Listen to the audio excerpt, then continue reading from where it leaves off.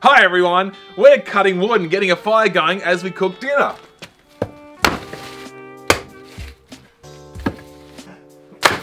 Oh, They used to call me the circumciser.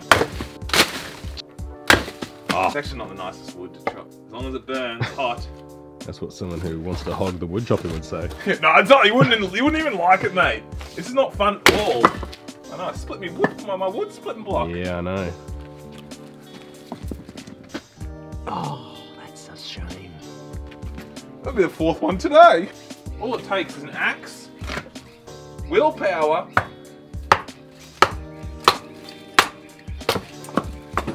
that's all. what did you think I was gonna say? A third thing? Two things only. I think that is some well-earned wood there. Nice.